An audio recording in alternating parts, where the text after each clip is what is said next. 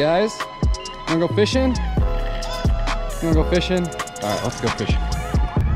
All right, what's going on everybody? Good to see you again.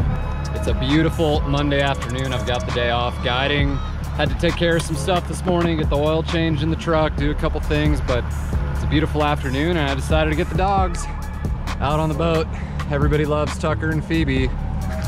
So yeah, we're just gonna go poke at some of the stuff that I've been fishing with customers these past couple days. Been on a really good big fish bite, fishing deep suspended fish off the channel. This past weekend's been really fun. I'll drop those pictures right here. We caught some giants. So now that we've uh, got a nice afternoon off, there's a ton of boats out here, a ton of guys fishing all the same stuff that everybody always fishes, just getting beat up.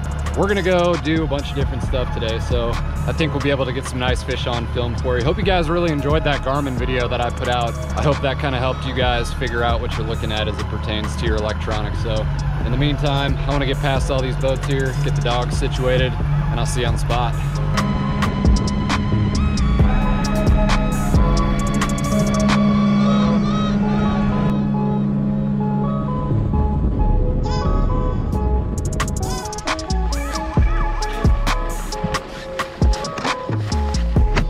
All right, just rolling up to the first spot here. Nice little channel swing.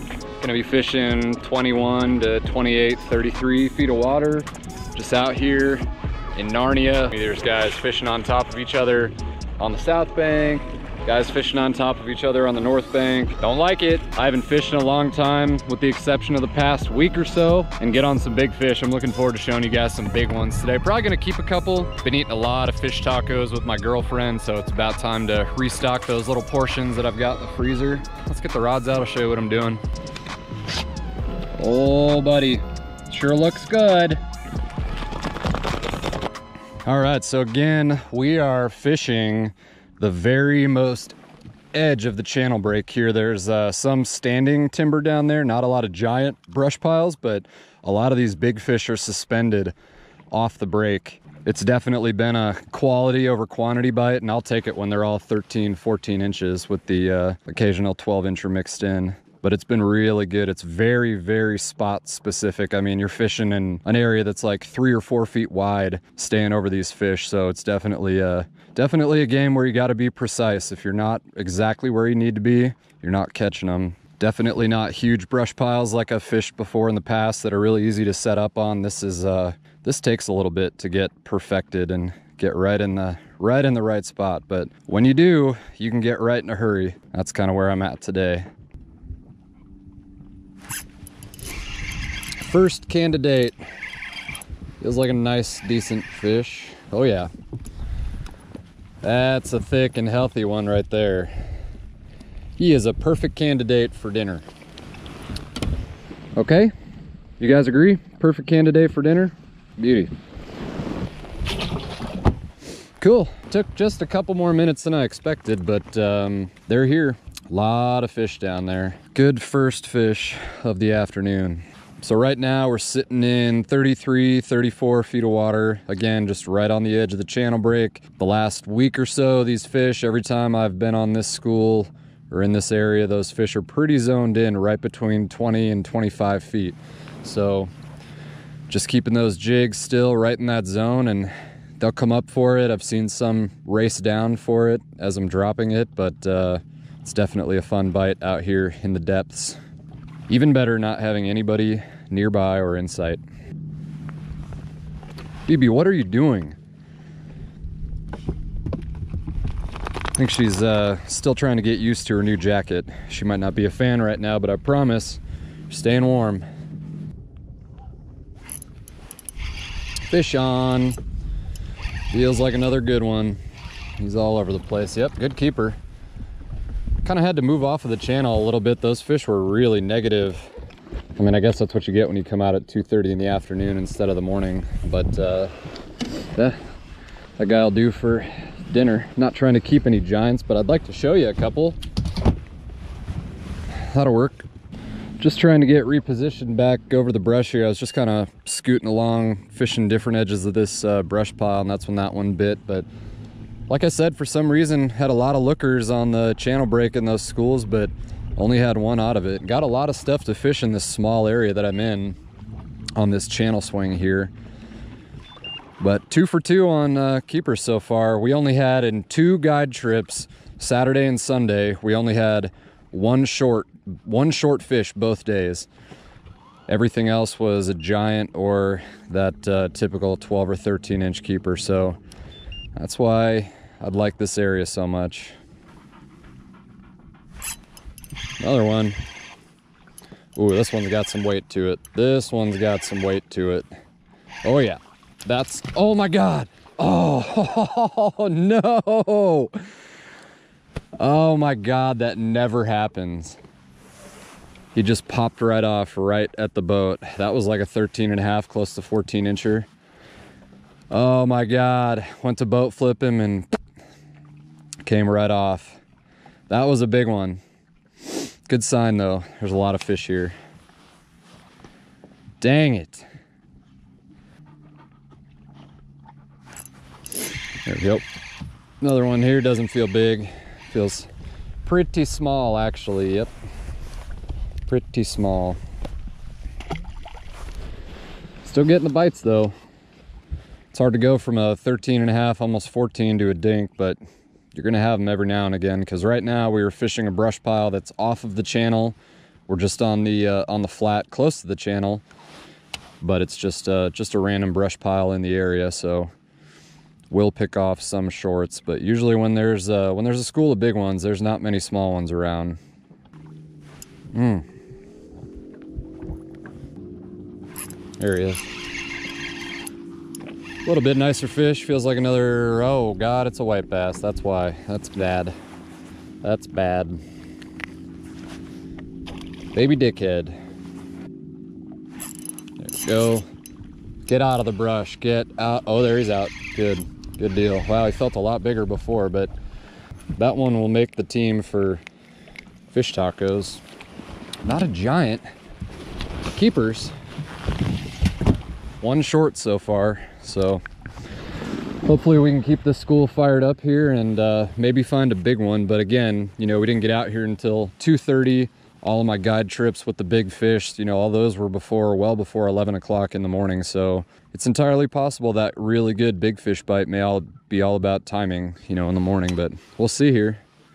A lot of fish down there. Yeah, I see you, Tucker.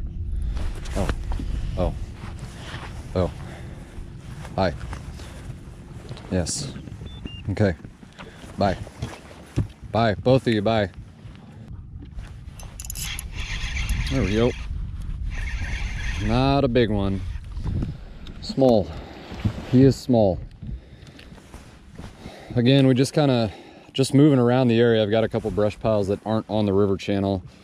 Um, but we needed to get off that suspended stuff. But now, I mean, I haven't really had too much going on on this stuff. So we're just gonna keep moving around. Stay mobile. That's the best advice I can ever offer any angler is just because there's a bunch of fish there doesn't mean they're biting. So go pick off the active fish where you can. Find the big ones. Oh shit, man. Oh, finally, just switched colors here. Feels like a better fish. Oh yeah, that's the kind. Just switched up from uh, the dark purple to the light purple. Sometimes you just gotta show him something different, but uh, he'll make the team. Probably only gonna keep six or seven. Obviously don't really need too many, so that's cool. We know they're here, just gotta show them something different. The one other thing about the uh, kind of the pattern that we've been on this past week, or at least the past three or four days, is that we roll up to the spot, pick off two or three right away, even though there's still a bunch of fish there, and then it cools down quite a bit. So then after that, we just move on to the next spot and kind of rinse and repeat. Two, three, four fish. Oh, just got smoked there. Two, three, four fish, and then um, cools down and keep moving. Totally fine with with moving and whatnot and keeping on the move, but definitely interesting that they cool down so fast. Definitely not, you know, weird or anything, but obviously, as you've seen in a couple of my videos before, you can sit on one or two brush piles and catch 40 keepers in a hurry. Definitely not the case out here, but more quality over quantity bites, but I'm thinking that that's probably a morning morning thing as, a, as opposed to afternoon. There we go. Oh yeah. Nice keeper. Still no giant giants yet, but again, I'm almost fairly certain that's that kind of 7.30 to 11 o'clock window as opposed to getting out here at the ass crack of 2.30 and then fishing a couple hours in the afternoon. But just on a little grocery run here, not complaining at all. Only had one short and one small white bass. Four or five keepers in there so far. Just had to switch colors. Only tried to force feed them plum crazy for so long before they wouldn't touch it and then switched up to the lighter purple and started getting a bit more.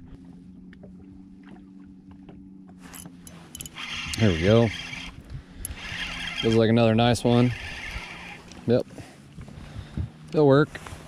10 incher. Fish taco size. I was just kind of cruising along the edge of the channel here, just uh, marked a piece of brush that I'd never stopped at before and dropped down and got bit right away. I'm just like scooting along the edge of the channel and fishing pretty much any piece of wood that I see that I don't have marked and it worked. Keepers, keepers, keepers. Fish on, big one. Finally, this is a big one.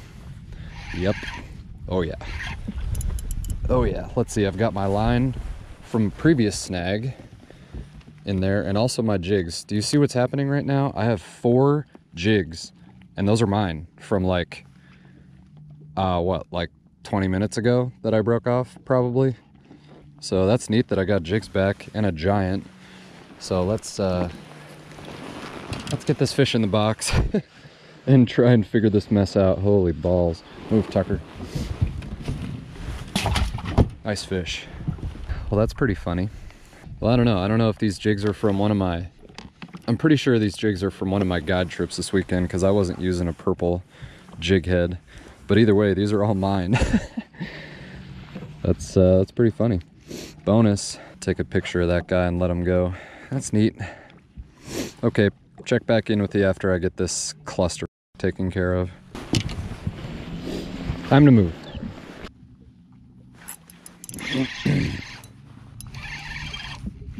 yeah, buddy. Tucker, stop. Just came over to one of these, uh, well, it's close to the community pile area on this bank here, but there's a couple that are right up against the channel that have nicer fish on them. That's one of them. So getting kind of close to what I want to keep. So probably just give it a little bit more here and then call it. But haven't had uh, but one short fish yet this afternoon out of the seven or eight keepers that we've got. And that's, that's what I'm here for. Oh yeah. That's a nice one. I think we're gonna end it on a nice one here. Oh yeah. Got my phone in between my pocket.